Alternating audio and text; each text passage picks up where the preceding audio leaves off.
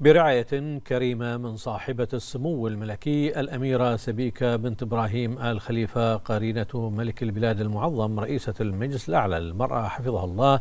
افتتح معالي الفريق طبيب الشيخ محمد بن عبد الله آل خليفة رئيس المجلس الأعلى للصحة رئيس مجلس إدارة جمعية السكري البحرينية مؤتمر البحرين للسكري والسمنة. جاء ذلك بحضور سعادة الأستاذة لولوى بن صالح العوضي الأمين العام للمجلس الأعلى للمرأة وسعادة الدكتورة جليلة بنت السيد جواد حسن وزيرة الصحة. يواصل القطاع الصحي في مملكة البحرين الارتقاء بصحة الأفراد بشكل عام وبصحة المرأة وجودة حياتها بشكل خاص لا سيما الدعم والمؤازرة المستمرة في تسليط الضوء على كل ما من شأنه أن يضمن لها صحة أفضل خاصة في مجالي السكر والسمنة. بما يرسم مستقبلا مشرقا لصحة المرأة البحرينية وعليه افتتح مؤتمر البحرين للسكر والسمنة تحت شعار السمنة وجودة الحياة.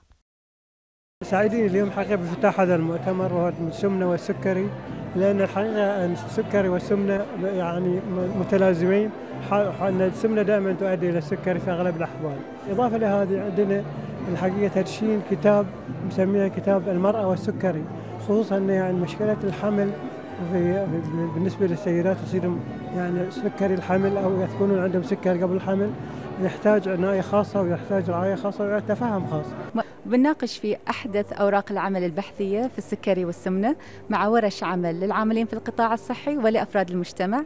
وخصصنا ورش لمرشدي المدارس كذلك. فمؤتمر علمي هام إن شاء الله يكرر سنوياً. للمجلس الأعلى للمرأة دور كبير يتطلع به في خلق بيئة تشجع المرأة على تحقيق إمكاناتها الكاملة وتطوير مهاراتها وقدراتها ومشاركتها في جميع المجالات بما في ذلك المجال الصحي والطبي الذي أثبتت فيه كفاءتها وقدرتها فضلا عن تنفيذ العديد من الخطط والمشاريع والمبادرات المهمة في سبيل الارتقاء بمسيرة المرأة في القطاع الصحي وتقدمها لتكون شريكا فعالا في النهضة التنموية الشاملة وعلى مختلف الأصعدة. هذا المؤتمر الزين اللي فيه إن إحنا آه، يخص مواضيع صحة المرأة. ومن خلاله بيكون هناك تدشين كتاب المرأة والسكري وبيركز على أفضل السبل لصحة المرأة والحمل. ستكون مشاركتي عن استخدام التكنولوجيا في علاج مرضى السكري وسوف أتطرق إلى العلاجات منذ البداية وكيف تطورت أنواع الأنسولين. ثم استطعنا أن نستخدم التقنيات الجديدة والتي وفرتها مملكة البحرين للجميع سواء من الصغار أو الكبار. هناك تعاون واضح بين وزارة الصحة وزارة التربية وجمعية السكر والجهات المشاركة وعلى رأسهم أيضا المجلس الأعلى للمرأة. هذه الدور الكبير اللي إحنا نحتاجه خاصة أن إحنا نتعامل مع أطفال السكر في المدارس. فالتوعية هذه والاستمرارية في عملية عطائنا وتواصلنا مع أولياء الأمور لكي نصل إلى أن هناك طفل فعلا يحتاج الرعاية سواء رعاية منزلية أو مدرسية أو مجتمعية وإحنا ما نسميهم أطفال نسميهم أبطال السكر. أنا اسمي المهرة عمري ثمان سنوات. آه السكري ما يمنعني إن أنا أمارس حياتي الطبيعية. أقدر آكل أقدر أشرب أقدر أسوي رياضة أقدر كل شيء اللي أنا أقدر أسويه.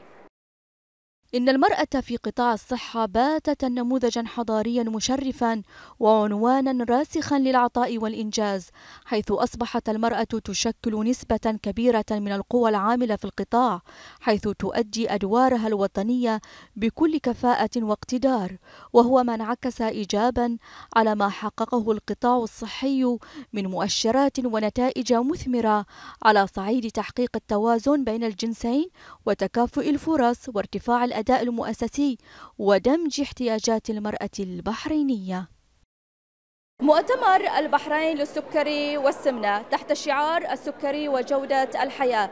يعكس هذا المؤتمر المساعي الدائمة والجهود الحثيثة لمكافحة السكري والسمنة لدى مختلف فئات المجتمع حفاظا على صحة وسلامة الجميع باعتبار الصحة أولوية دائمة.